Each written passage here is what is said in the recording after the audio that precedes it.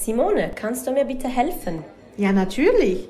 Du weißt ja, ich organisiere eine Party nächste Woche. Da kommen alle meine Freunde. Ich habe so viel zu tun. Okay, was kann ich dann machen? Soll ich die Einladungen schreiben? Ja, gute Idee.